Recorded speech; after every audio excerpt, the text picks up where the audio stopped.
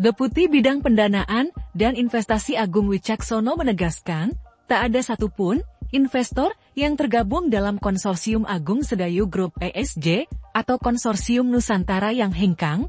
Menurut Agung, komposisi anggota konsorsium bisa saja berubah dan itu adalah hal internal konsorsium. Keterlibatan dalam membangun di IKN juga bisa berubah-ubah sesuai dengan kebutuhan apa yang dibangun Pembagian peran seperti apa adalah kewenangan internal konsorsium. Project B Project.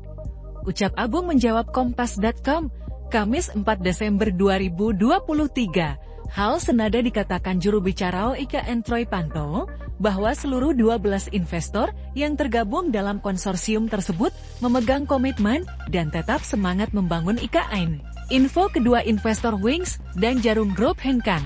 Tidak benar, Tegas Troy kepada Kompas.com, Kamis 4 Desember 2023, adapun daftar terbaru 12 taipan raksasa yang dimaksud OIKAN yakni, Agung Sedayu Group, Salim Group, Astra Group, Sinarmas Group, Kawan Lama Group, Mulia Group, Pulau Intan, Alpha Group Alfamart, Barito Pacific, Adero Group, Jarum Group, dan Wins Group.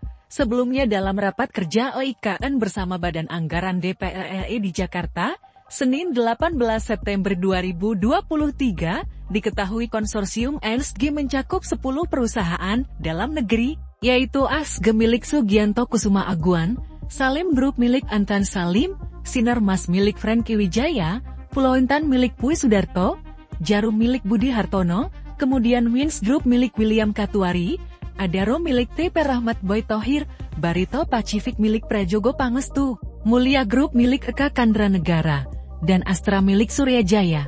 Namun demikian, dalam groundbreaking proyek swasta tahap pertama yang disiarkan secara langsung melalui YouTube Sekretariat Presiden Setpres, nampak bos kawan lama Grup Kuncoro Wibowo dan bos Alfamart Joko Susanto turut hadir.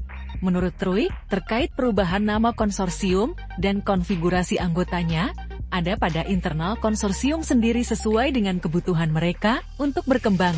Bahwa itu internal konsorsium dan sesuai dengan kebutuhan untuk berkembang, tanda strui.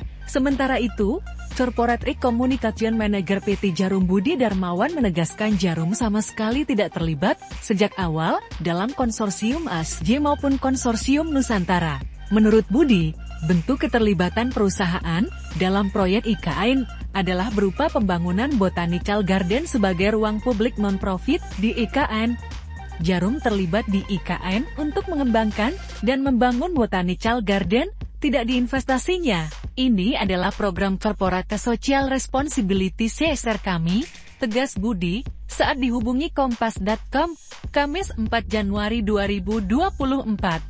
Proyek Botanical Garden Jarum saat ini masih dalam tahap perancangan dengan target groundbreaking yang masih akan disesuaikan. Download Tribun X sekarang. Menghadirkan lokal menjadi Indonesia.